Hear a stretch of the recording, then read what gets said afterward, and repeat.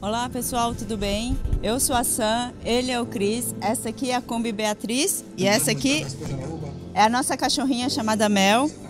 É, nós moramos, viajamos, trabalhamos dentro dessa Kombi aqui, que foi a gente mesmo que construiu. Estamos rodando aqui por Minas Gerais e estamos na Expo Janaúba 2019.